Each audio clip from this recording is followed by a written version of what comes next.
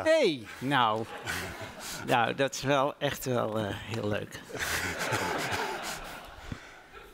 ja, ik, uh, uh, ik had het voornemen om met je over het werk te praten. Ja? En um, mijn eerste vraag... Jij weet al wie je bent. Ja, ik heb, ik heb me zojuist geïntroduceerd. Ja, ja. Als mijn grote voorbeeld. Nou, ja, ja, ja. Hou op, hou op. Hou op. Uh, hoe, mijn eerste vraag is eigenlijk, voordat ik bij de aard van het werk kom, hoe zou je je werk eigenlijk noemen? Dat wat jij doet, wat is dat? Ja dat, dat, dat, ja, dat weet ik al niet eigenlijk. Dat wil zeggen, ik weet wel dat het cabaret is. Ja. Dat het zo'n programmaboekje staat. Als ik op het podium sta in ieder geval. Maar het, het, het is wat eruit komt, geloof ik. Um, want ik neem altijd vorm van alles te maken en dan komt, dit, dan komt er iets anders uit dan ik gedacht had. En, en dat, dat karakteriseert je, vind je? Bedoel, dat, dat, dat, is, dat is het eerder dan dat je zegt, ik ben cabaretier. Ja, ja, een beetje cabaretier, ondanks mezelf. Ik heb ook heel lang heel erg vervelend gevonden om dan mezelf voor te moeten stellen als cabaretier. Welk woord was beter geweest?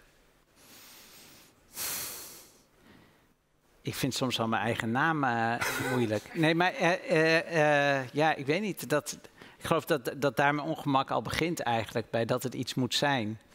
Um, nou ja, een hele goede romancier had ik wel fantastisch gevonden. Maar ja, dan moet je wel een roman schrijven. Ja. Dus dat, en zo, zo zijn er nog wel wat dingen. En kunstenaar? Kunst, gewoon kunstenaar? Is... Nou, dat zou ik wel leuk vinden als dat, als dat het blijkt te zijn. Zo zou je het zelf wel?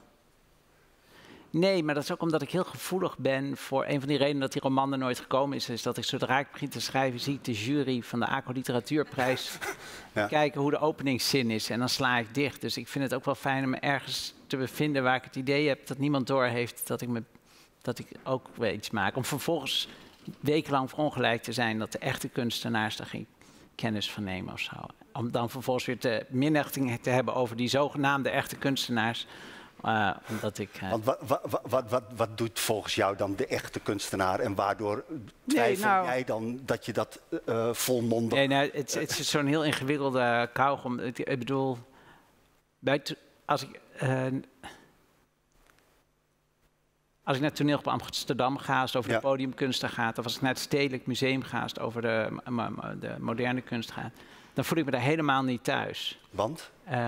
Omdat ik het, uh, omdat het een, een, een, een, een, manier vind waarin kunst wel gepresenteerd wordt als opgevoerd, die mij niet aanspreekt, waar te weinig twijfel uitspreekt en die mij vaak te vooringenomen, te, te, ja, die me niet boeit eigenlijk. Soms wel hoor, er zit er wel eens iets tussen wat me boeit. Um, uh, Men weet het ik, zeker. Ik, ja, nou, maar ik voel me, maar er is wel, maar ik vind, ik, ik ja, jij zit tegenover me, maar ik, ik, ik ga heel graag naar jullie voorstelling toe van de Koel. Ja. En uh, ja, dan ben, dan ben, ik echt heel verdrietig dat het niet gewoon helemaal vol zit. Want dan denk ik, hoe kan dat nou? Want dit, dit is echt zoveel interessanter en mooier dan uh, waar ik de hele tijd over moet lezen dat het zo belangrijk is. Uh, maar tegelijkertijd vind ik, uh, is dat ook allemaal bijzaak. Want als ik gewoon in de voorstelling zit, maakt het me allemaal niet uit wie er verder zit. Dan ben ik blij dat ik erbij mag zijn. En dat geldt ook uh, met, met, met, met, schilderkunst of zo. Dat, dat ik, soms is er iets wat ik heel mooi vind, wat wel door, het, door de goede gemeente goed gevonden wordt. Grayson Perry is een kunstenaar. Nou, die is alom, wordt die gerespecteerd en die vind ik ook heel mooi. Uh, maar veel, uh, ja, veel schilderkunst die, die, die, ik mooi vind is, is, ja, is figuratief. Nou, die, die, die, komt, die komt het, die komt het, het Stedelijk Museum niet in. Nou, dat, dat vind ik verschrikkelijk. En in het Stedelijk Museum kom ik dan binnen en sta ik voor iets over Black Lives Matter. En dan denk ik, ja, dat, dat had ik nou net in de krant ook al gelezen.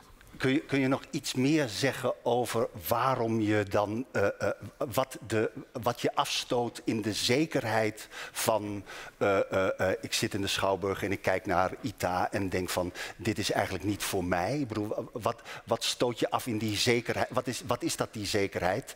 En, en waarom moet het dan onzeker zijn? Nou, het is niet eens. Het is vaak. Ja, ik vind het ook een beetje jammer om nou Anita op te hangen. Want ja, ja, okay, eigenlijk best wel negatief. Wat ik mooi vind, is uh, als, de, als, als, als, als de maker op een bepaalde manier zichzelf ter discussie stelt. Ja. Uh, omdat uh, dat ontroert mij en dat vind ik interessant. of dat nou een spe. Dus het heeft er ook dus ik, ik al ben ik het zelf misschien niet zo heel erg. Ik hou wel van een soort bescheidenheid in de maker. Die, die, die zeg eigenlijk. Ja, er is één voorstelling die ik van, jou, van jullie gezien heb. waarin jij na een paar uh, uh, minuten de voorstelling stilstegt. en zegt: Maar wat nou als dit, wat wij hier doen, eigenlijk helemaal geen zin heeft? Ja, ja. En dat vind ik dan, dat vind, dan ga ik opeens rechtop zitten van ja, ja, want uh, ja, wat nou eigenlijk als we hier, als dit juist helemaal niet goed is, terwijl wij denken we goed zijn naar theater. En dan, dan wordt het spannend. Terwijl dat is een vraag die Ivo van Hoven in mijn ogen zichzelf niet stelt. Die komt binnen en die vertelt waarom het belangrijk is. Wat ik ook stiekem erg bewonder. Die om... is zogenaamd verder. Ja, en die, die twijfelt over heel weinig dingen. Maakt daar. De, maar ja. Maar ja wie ik een heel groot kunstenaar vind in Nederland is Gumba. Dat, dat, dat ontroert me en ik, ik, vind het mooi. En ik vind het verschrikkelijk grappig. Het heeft ook te maken met dat er ergens een soort humor in moet zitten. Niet, niet, niet als een soort amusement van uh, er moet uh, klappen zijn met z'n allen. Maar dat, dat, dat er voortdurend dat er een soort onderliggende relativering en onzekerheid is. wat ik, als Roger Moore James Bond speelt, dan zie je hem de hele tijd kijken, ik, James Bond. Ja, ja, ja. En, en dan, dan wordt het, dat vind, dan, daar, kijk ik, daar kijk ik liever naar. En tegelijkertijd, als ik iets maak, zou ik zo graag een keer iets maken wat dat niet is. Omdat ik het ook uh, uh, soms een beetje vervloekt. Ik zou, zou zo graag gewoon eens een keertje gewoon dat... dat dat, we, dat ik zeg, we zijn in Rome. En, en dat, dat, dat we het wel 1630. Ja. En dat het allemaal. En, want soms lees ik een roman of zie ik een film en die is dat wel. En dan geniet ik daar ook heel erg van. Hoe, hoe, uh, hoe kom jij daar als je aan het werk bent, als je begint? Hoe kom je bij, uh, uh, ik ben Micha Wertheim en ik weet het niet zeker en daar begin nou ja, ik vanuit te schrijven? Dat, daarvoor heb ik heel veel geleerd van Pieter Bouwman. Dat was de, ja. regisseur waar ik terecht kwam toen ik vast zat voor mijn eerste programma. En die heeft me eigenlijk een paar dingen geleerd. En het, hij zei eigenlijk intelligentie, dat, dat is oninteressant om aan de zaal te laten zien. Dat heb je of dat heb je niet. En uh, dat, dat, dat kan je niet uh, uh, dwingen. Nee. Um, maar wat je, wat, je, wat je wel kan doen is gewoon wat vind je leuk. En dan ben je on, on hoe zeg je dat? onchantabel, want je staat op het podium en je doet in ieder geval wat je zelf leuk vindt. En als je weet wat je leuk vindt, dan, uh, dan zit daar vaak wel meer achter. Daar moet je op vertrouwen. En hij zei letterlijk tegen mij, als je een idee hebt waar je een glimlach bij krijgt, ga dat nou maar doen. En als je een idee hebt waar je een frons bij krijgt, is dat meestal een idee waarvan je denkt, dat verwacht het publiek van mij. Hmm, moet misschien wel... Uh... En dan moet je heel erg oppassen. En dat heeft bij mij een maakproces ertoe geleid dat ik eigenlijk eigenlijk mezelf, ik ben nu een voorstelling aan het maken, dus ik ben ook een beetje in een soort limbo-achtige situatie. Dat ik denk, nou, laat ik eerst maar heel veel grapjes verzamelen. En dingen die ik gewoon leuk vind, dingen die ik leuk vind om te zeggen. Uh, waar ik zelf een plezier van krijg. En daar heel veel van op een, op een hoop te vegen. En dan eens kijken wat dat oproept. Uh, omdat als ik vanaf de andere kant ga werken, namelijk dat ik zeg, we moeten het toch eens een keertje gaan hebben over hoe we met z'n allen richting een totalitaire samenleving afglijden. Ja. ja. dan kom ik in een soort essay terecht waar ik, waar ik niet meer uitkom. Uh, en daar moet ik mezelf tegen beschermen. Tegelijkertijd denk ik ook wel eens, ja, misschien is het ook een soort, uh, soort, soort, soort luiheid. Want wat, wat jullie maken is wel degelijk soms gebaseerd op echt onderzoek. En dat je echt wel degelijk durft uh, uh, je in te lezen in iets en zo. En ik, maar niet meer of minder dan jij, heb ik het idee. Nee, nee, ja. ja.